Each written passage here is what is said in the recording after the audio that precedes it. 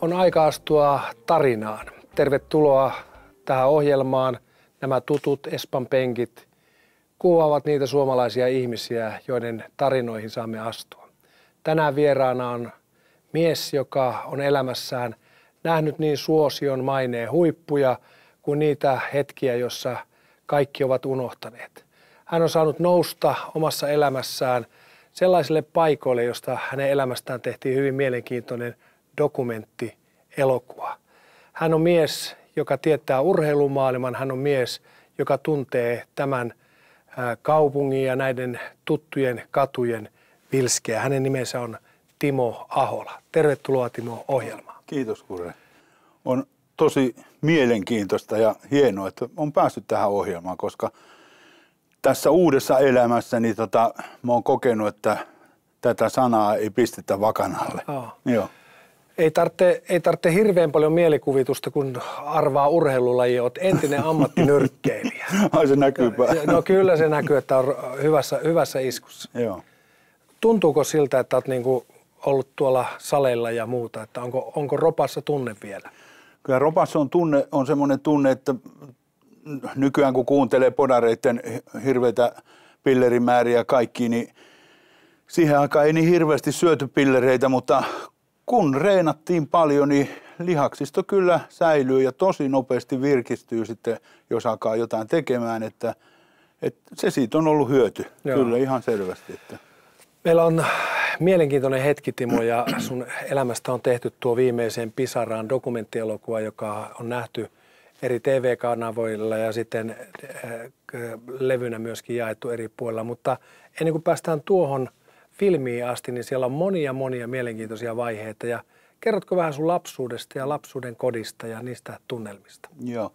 No mullahan lapsuus oli sellainen juttu, että meillä oli semmoinen riitainen perhe, äiti ja isä, ja mulla on kaksi veljeä, vanhempaa veljeä. Ja mistä, mistä päin sä oot kotoisin? Mä oon syntynyt Vilppulassa ja siellä kolmevuotiaana sitten se dramatiikka meni siihen, että iskä monta kertaa puukon kanssa pelotteli meitä ja jouduttiin lähteä Käpälämäkeen ja semmoista se oli sitä, kunnes sitten iskä keksi hienon jutun, että myydään talo ja muutetaan Ruotsiin. No. No, sehän meni hienosti. Äiti ei ymmärtänyt asiaa ja tota, myivät taloja, ja iskä lähti Ruotsiin ja dokas rahansa siellä ja sitten lähetti meille, mä en tiedä saatiinko me se laivalippu ihan ilmaiseksi sieltä vai maksoiko äiti senkin, vaan joka tapauksessa mentiin Ruotsiin ja kun tultiin siihen rannalle, niin meidän koti oli siinä rannalla, siinä oli teltta pystyssä ja me asuttiin siinä kesä. M- miten iso perhe teillä olikaan? Me kolme poikaa ja äiti. Kolme poikaa, joo. joo. Jos on samantyyppisiä ollut velipojat kuin sinä, niin teillä oli vilskettä. Meillä oli vilskettä kyllä ja sitähän se oli, että se, se sitten Ruotsin poika pisti meidät pihalle tänne Suomeen takaisin ja me tota, muutettiin sitten tänne Helsingin keskustaan ihan tuonne noin. Ja, ja, ja siellä tietenkin sitten oli omat vaikeutensa, kun ajattelee äitiä ja kun me tapeltiin aina. Keskenään me tapeltiin aina. Kukaan ei pannut rajoja niin kuin sillä tavalla, niin se oli äitille tosi raskasta. Joo, joo. Se oli tosi raskasta. Tuota, äh, vaikka, vaikka sanot, että olitte poikia ja pojathan aina vähän mittelee ja tekee tällaista, mm. niin kumminkin sun lapsuudesta on jäänyt jotain herkkää ja se on tuossa laukussa sun vieressä. Otatko se ihan käteen Joo. ja näytät, että olit löytänyt tällaisen kirjan? Mä oon tämmöisen kirjan säilyttänyt, se on ihan ihmeen kaupalla, se on varmaan näitä hetkiä varten ihan säilynyt. Eli mun äitini ystävättäriensä kanssa pitivät tota, sellaista kutilejuttua jotakin Joo. näin. Ja ne tätit halusi aina mulle antaa tota, jonkun nimikirjoituksen, täällä on hienoja värsyjä kaikkia ja kummallista kylläkin, niin vaikka nämä on ihan tämmöisiä enkelin kuvia ja kaikki tällaisia, on siellä yksi junakin ja Nostapa niin, vähän, niin näkee oikein kuvia, joo. Niin, täällä on tämmöisiä hienoja virityksiä, niin tota, jotenkin se joo. oli musta hienoa. Minkä ikäinen sä oot silloin ollut? Mä oon ollut varmaan joku 5-6-vuotias. Joo, näytäpä se käsi vielä, kun se saa. Joo, no näyt- niin, tästä kädestähän oli semmoinen tosi hieno ajatus, että mä aina ajattelin, ajattelin, että mun joskus, en mä tiedä ymmärsikö mä silloin, että joskus tota mun tulevalla vaimolla tai jollain olisi tämmöiset kädet, että mä ihastuisin heti sitä ja nyt mun tyttärellä on tämmöiset kädet, että on aika, aivan upea Erika on tytön nimi ja, ja tota, hänellä on nyt tämmöiset pitkät sormet ja Joo. kädet. En tiedä mikä tässä viehätti, mutta niin se vaan oli, että, että tavallaan mikä liittyy niin kuin tähän, mä huomaan, että, että ympäristö saattaa luoda semmoiset paineet, kun mä olin iso kokonen kuitenkin. Mä oon Niin. painanut melkein kuusi kiloa, kun mä oon syntynyt. No niin.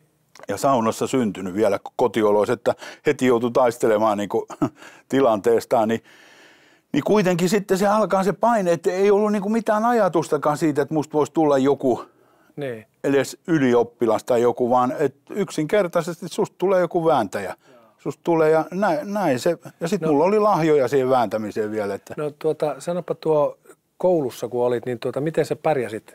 Silloin taisi olla kansalaiskoulu vielä. Silloin oli kansalaiskoulu, mähän pärjäsin siellä erittäin hyvin, koska mä olin reenannut jo silloin ja punttia nostettiin hirveästi ja kaikkia tehtiin jo semmoista. Ja mä oon, mä oon poikien kanssa pärjännyt aina Joo. tosi hyvin. No entäs opiskelujen puolesta? Opiskelujen puolesta en pärjännyt taas oikein hyvin. Että mä, mä en tiedä, nythän, nythän on ne hienoja nimiä, kaikki ADH-juttuja ja kaikki, mutta mulla oli ihan vaikeuksia kaikkien aineiden kanssa. Että, Joo. ja sitten mä viritin tämmöisen, mikä on erittäin vaarallinen asia, jos se, sen mä langetan kyllä vähän Niin. opettajan piikkiin, että ne ei tajunnut sitä, että nyt kun mä en pärjää, ja kaverihan ei voi niinku pokkaansa menettää, tiedätkö, sitä Niin. niin. kasvoonsa, niin mä keksin vaikka mitä, että mä häiritsin luokkaa tai tein jotain, että mä sain siirrettyä siitä oppimisesta, siitä osaamisesta sen niin kuin muuhun. Eli Joo. mut heitettiin ulos luokasta aina aina Timo häiritsee, aina Timo tekee Joo. kaikki. Mutta mä tein sen ihan tahallani. Mä tein sen juuri sen takia, ettei mun kasvo mene Joo. siellä, kun mä en osaa jotain kertotaan. Joo, ja toisaalta sait huomioon. Ja Mä sain sait- huomioon joo. sitten joo. No sanopas, sä kerroit jossakin vaiheessa, että oot kertonut, kun opettaja loi kuvan, että mitä teistä tulee.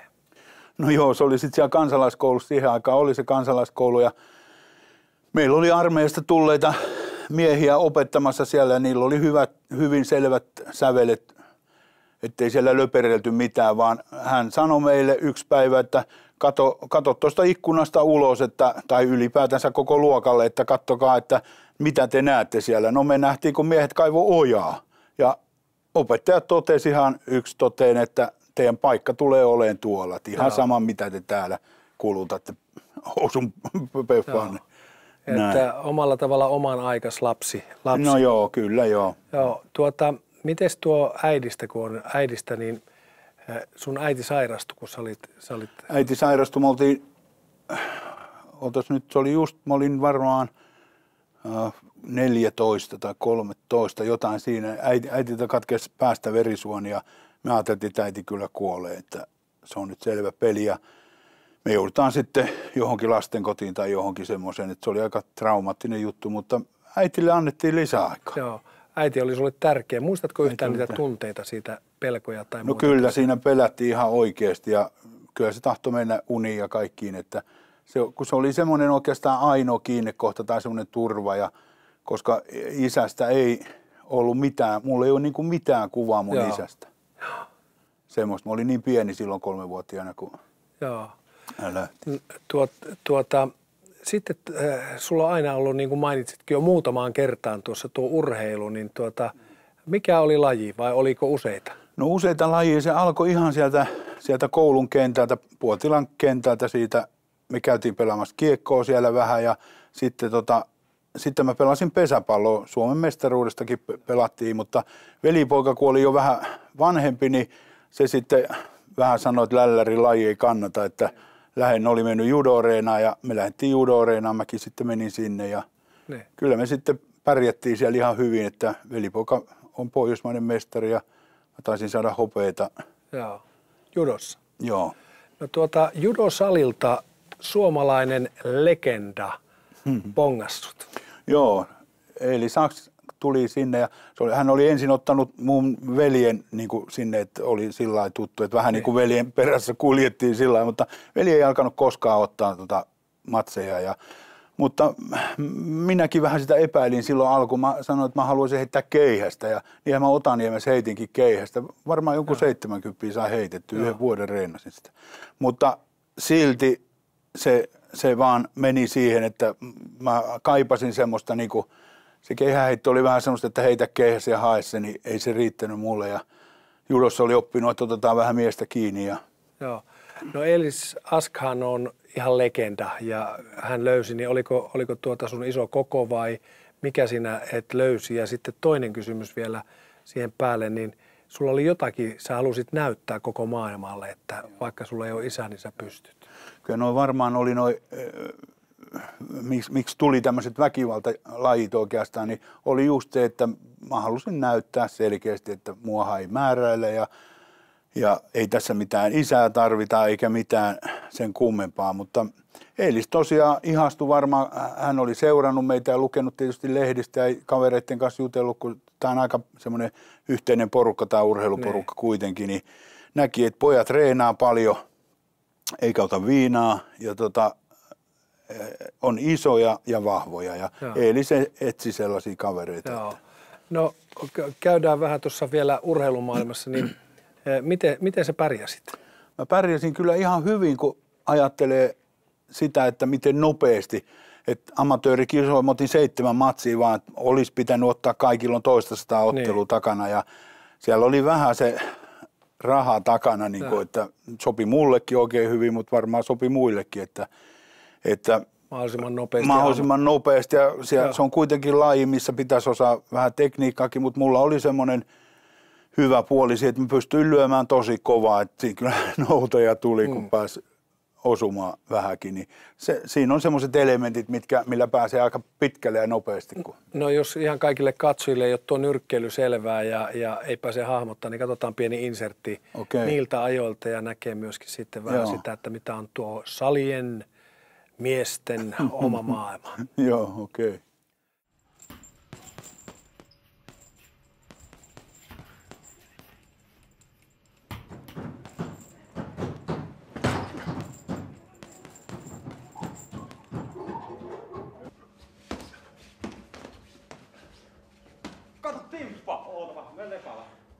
Katso, tuu kokeile. Iita vähän näyttää sulle, miten boksataan.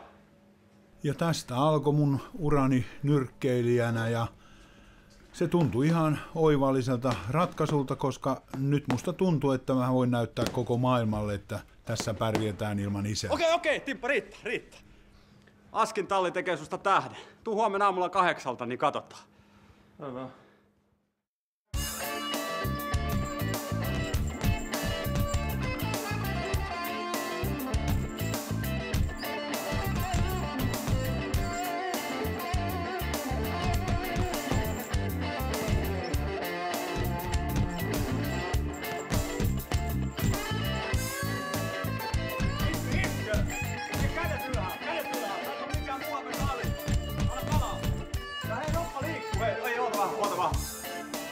Hei, koko roppa liikkeessä. Iitatäti liikkuu paljon sujuvammin hei ja lyö paljon kovempaa. Anna palaa, iske sitä säkkiä. Iske, iske. kovempaa.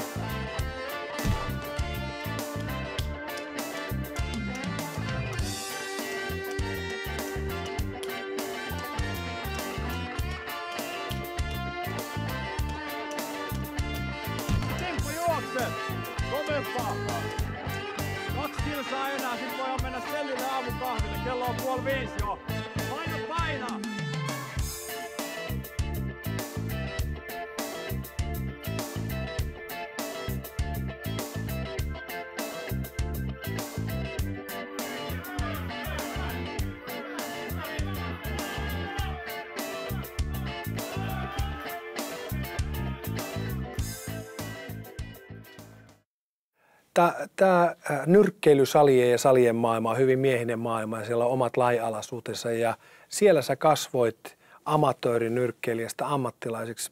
Kerro muutamalla sanalla tuosta ammattilaisurasta. Joo. Se urahan on kova, että jos joku kuvittelee, että ammattilaisena tekee mitä hyvänsä ammatikseen, niin se muuttuu se luonne ihan täysin. Ja siellä ei vaikuta sitten enää, jos on jotkut pitää syöllä mennä bailaamaan tai jotain, niin silloin ei mennä ja reenataan ihan hirveästi. Ja, niin. Kävitsä missä maissa olit?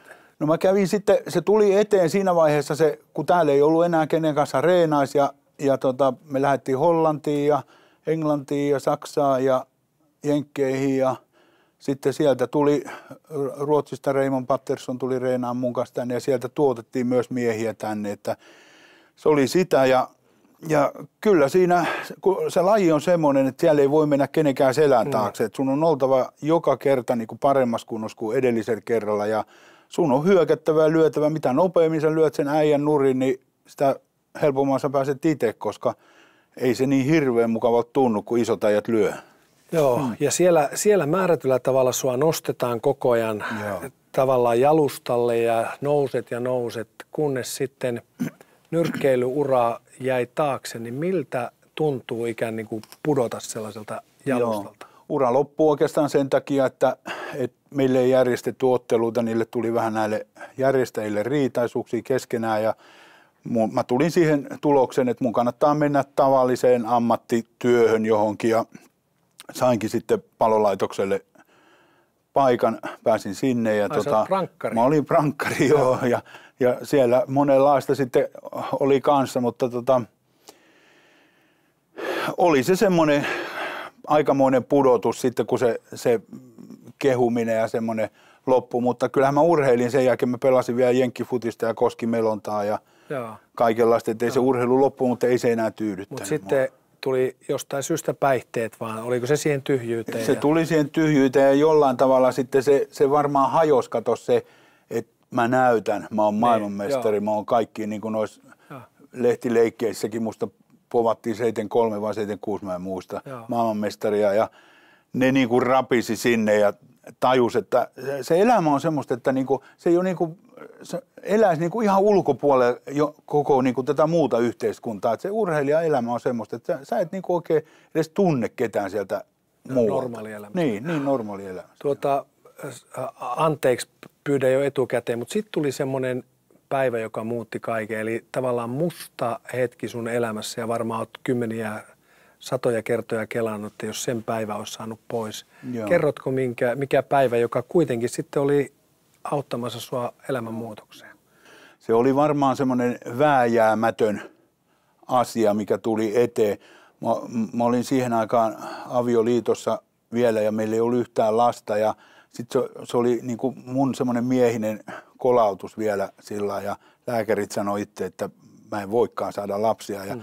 Jotenkin, jotenkin elämämme palokunnassa näin myös – kuolemaa jatkuvasti, nostettiin nuoria ylös tuota vedestä ja milloin mitäkin, niin alkoi tuntua semmoiselta, että ei millään ole mitään merkitystä. Että se, minkä sä itse vaan ymmärrät, niin ok. Ja no semmoisenhan, kun sut menee niin kuin diagnoosi elämästä tai joku tavoite elämästä, ja. niin alamäkihän on valmis. Si- silloin lähdetään menee ja sitten siihen ei auta oikeastaan näin, kun ei tunne mitään muuta, niin muuta kuin viina ja pillerit ja kaiken maailman se, semmoisia rajoja kokeiltiin niin. kaikki, missä saisi niin kuin mukaan niitä tunteita Joo. sitten. Että. No oliko tämä asehommakin semmoinen jännityksen hakeminen? No se ei ollut kyllä sitä, se oli ihan, me, meillä oli aseita tosi paljon, me ammuskeltiin tuolla lintuja tuolla ihan oikeasti, niissä oli niin. luvat kaikkia tällä, mutta sitten siellä palolaitoksella oli kans, että me ammuttiin sieltä niitä lintuja, että se kuului meidän tehtävään. Ja tota, eli niitä pyssyjä oli joka paikassa. Ja sitten kun sitä viinaa alkoi olemaan siinäkin tilanteessa, mikä tuossa elokuvassakin niin. näytetään, niin me oltiin sen kaverin kanssa kahdestaan. Me oltiin kapakasta lennetty ulos ja lähdettiin meille dokaan, kun meillä oli sitten prenkkuu niin. siellä lisää ja vedettiin hullun tavalla ja ne pyssyt oli siinä pöydässä ja mä otin sen pyssyn siitä ja sanoin, että lähdetäänkö pelotteleen kavereita ja mä tiesin, että se on tyhjä. Niin. Ja tähtäsin ja vedin liipasimesta, se ei ollutkaan tyhjä. Ja, ja Kaveri sun... kuoli. Ja, ja se oli mun tosi hyvä kaveri ja se, se olikin ihan, se oli ihan, mä muistan sen, että mä en pystynyt, niin mä en ymmärtänyt, miten, miten tämä on mahdollista. Joo. Ei tämä ole mitenkään mahdollista. Niin Joo. se vaan oli. Ja äh, se oli kylmä herääminen poliisivankilan sellissä. Joo, se oli kylmä herääminen ja siinä mietittiin, kyllä mä mietin, että mä lahtaan itteni saman tien, että ei, ei tästä tule mitään ja kerta kaikkiaan, mutta sitä ennen, kato, mun on kerrottava tähän asiaan, niin. Sulle, kato, kun, että Jumala tietää meidät jostain syystä, koska hän seuraa tuolla meitä varmaan, niin, niin tiedätkö, kun mä ajoin tuosta Itäkeskuksesta, nykyisestä Itäkeskuksesta, niin. mä asuin silloin tuolla mm, Laajasalossa, mä ajoin sieltä tonne Malmin hautausmaalle Pirkkolaan pelaamaan jääkiekkoa sen kaverin kanssa. Niin. Ja ex-vaimo oli silloin mukana. Niin mä näin Malmin hautausmaalla kirkkaan ristin, ison kirkkaan ristin siellä taivaanrannan ylhäällä niin. korkealla. Mä ihmettelin, että mikä juttu tämä on. Ja. Mutta unohdin sen, mutta sen verran sanoin kuitenkin siitä, kun vaimo lähti silloin kotiin päin, niin mä sanoin, että ajan varovasti. Mä ajattelin, katsoin, että siinä jotain tämmöistä. Niin, että joku, nyt joku, joo. mä olin joo. tietoinen nimittäin siihen aikaan e- erilaisista maailmoista kuitenkin, joo, että, että mul, mä niin jotenkin ymmärsin sen, että nyt on jotain menossa. Niinhän siinä kävi sitten kuule, että me oltiin pelit pelattu, metiin kapakkaa ja jatkettiin matkaa, tultiin meille, vedettiin lisää viinaa ihan, ja mä otin sen tosiaan sen aseen ja ammu ja se oli siinä. Ja näytti niin kuin, että määrätyllä tavalla kaikelta putos pohja, Joo. mutta niissä Joo. tilanteissa vankilassa oikeastaan avautui uusi tie. Joo.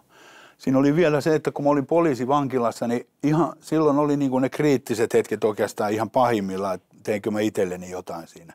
Niin mä sain, näin sen saman ristin siellä taas. Mä näin, se tuli sinne selliin. Mä ihmettelin, että mitä tämä on. Mm. Mutta samalla tuli suuri rauha mun päälle. En käsittänyt vieläkään, mitä se oli, koska mulle risti merkitsi kuolemaa. Et, mutta joka tapauksessa rauha tuli ja sitten mut siirrettiin tuonne Nokalle tutkintovankilaan. Kataja, ja, Katajanokan vankilaan. Katajanokan, joo, joo, joo. joo.